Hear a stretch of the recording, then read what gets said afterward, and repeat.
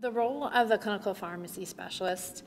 is continuing to evolve over time, and there's many different roles that we play. Um, patient care is always, you know, a primary important factor,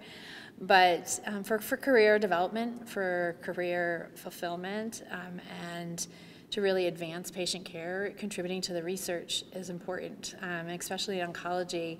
um, where we even though we've made a, quite a few advances, we still have a lot of ground to go. Um, we were not curing all cancers yet.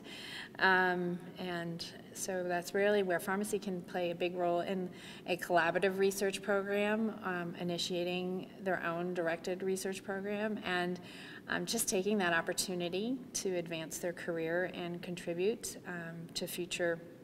drug outcomes and drug therapies, improving what we're doing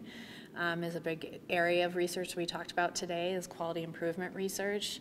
Um, pharmacists can have a huge role in that arena um, in optimizing um, medication utilization, reducing cost, um, or is it, you know, avoiding drug-drug interactions, reducing toxicity to avoid hospitalization or ER visits? There's a huge role um, that pharmacy can play in um, intervening to help improve the oncology patient care.